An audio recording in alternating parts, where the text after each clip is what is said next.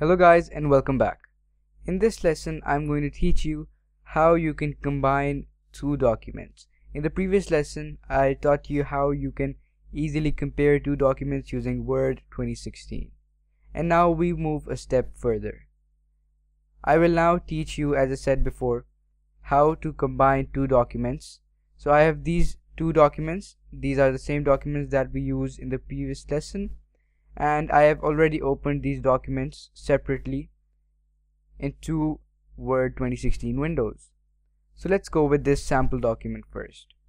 Open this up and go to review again in, in your ribbon. Click review and then go to where it says compare again. Click compare and you see two options over here.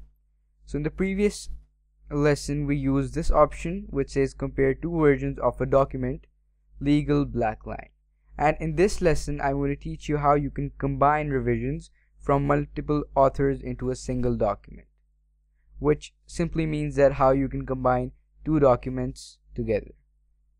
So if I click combine it gives me the same dialog box which gave us in compare. So I'm going to select my original document or the sample document on my desktop. So this is the sample document and the revised document will be this document on my desktop. So the name will be same. You can also use your company name as well. And I will mark all the checkboxes and show changes at word level and show changes in a new document. Proofread this dialog box and then when you're ready click go or click OK so let's click OK now. And you will see that the two documents have been combined successfully.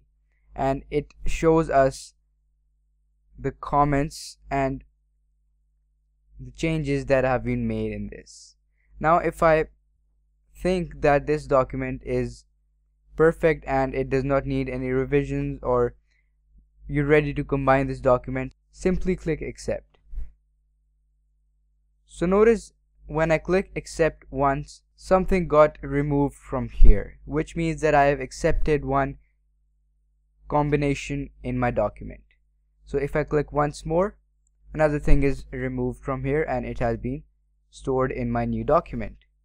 Click accept again, once more, and I accept this description combination as well and the definition as well. So it says there aren't any comments or track changes in your document, which means I have successfully combined the original document, which was the sample document, and the revised document.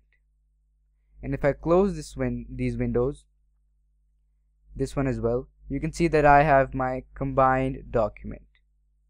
And it is now ready to be processed. And you can send it to whomever you like and so on. So this was a short lesson and I taught you how you can easily combine two documents together. So the first one was compare and this one is combine. So I hope you learned. Keep practicing. Stay tuned and let's move to our next lesson.